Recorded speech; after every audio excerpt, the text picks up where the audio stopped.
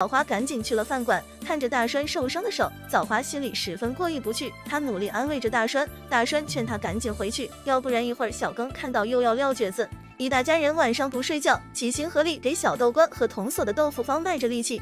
小刚又跟枣花说着好话，这一次枣花对他失去信心。小刚接下来的一句话让枣花对他彻底失望：你爱咋地就咋地，你可以不在家，你可以上那个饭店。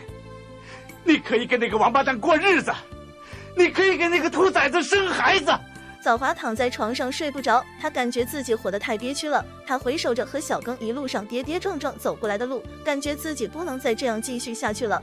她起身把身上戴的金银首饰全部摘了下来，放到桌子上，然后就离家出走了。枣花先来到了自己娘的坟前，向她哭诉着自己不幸的遭遇。小刚半夜醒来，发现枣花不见了，又看到了桌上放的金银首饰，明白了一切。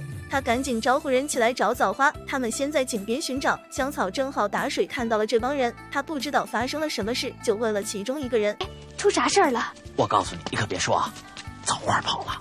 啊！香草赶紧告诉了他爹，葛茂元立即起身也去找枣花。几人找了一夜，终于在一个山坡上找到了枣花。小庚让枣花马上回家，枣花不肯，他要回山东老家。小庚见软的不行，就来硬的。行啊，你随便。你把欠我的都还我，你就走。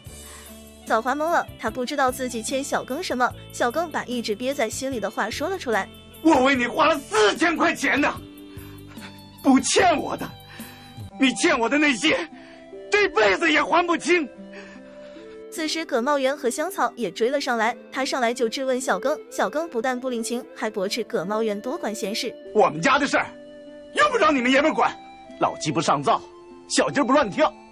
我实话告诉你，你们家铜锁、香草，也包括枣花，都叫你给拐带坏的。